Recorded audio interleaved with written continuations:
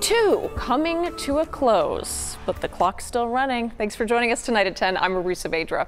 The Cowboy star running back was supposed to report to California this morning, but he didn't show. For more on the wait, we go to Joe Trahan live in Oxnard tonight with why it looks like Zeke might actually still be here in North Texas, Joe. Yeah, that's right, Marie. You know, Zeke Watch is on absolutely everywhere, and perhaps you saw the post on social media. One of our viewers actually caught up with Zeke and saw him in person. In fact, let's take a look at the post that he put up yesterday. His name is Dustin Wynn. He's from Frisco, and he says he saw Zeke at a restaurant called Benedict's in Frisco around noon yesterday. Wynn says Zeke was in workout gear and he was with his agent, Rocky Arceneaux, leading you to believe that Zeke is at the ready should a deal get done.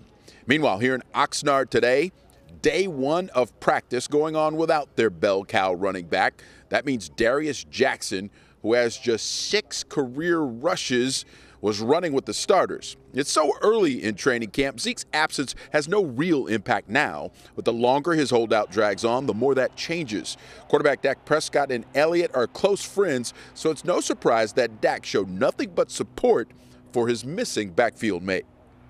Uh, yeah, we've talked uh, quick communications, but um, that's all business. That's, that's for him to handle. Uh, for my job right now is just to come out here and make sure this team is getting better. I'm making sure uh, I'm getting myself better, uh, and everybody out here. That's that's our main focus is, is, being being the best team that we can be with everybody that's here. Uh, we know he'll take care of himself. We're not worried about him because we know wherever he is, he's doing things the right way. He's getting himself ready.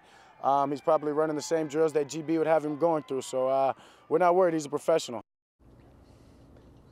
Yeah, we also talked to Jason Witten about it, and he said, listen, these business affairs can be tricky, but he remained confident that a deal would get done, and he stressed the importance of getting Zeke back as a part of this team because he is so important for the future of it. Meanwhile, there's business to be done with Dak Prescott as well. He's trying to get a new contract too. We'll talk about him, uh, we'll talk to him about that coming up later in sports.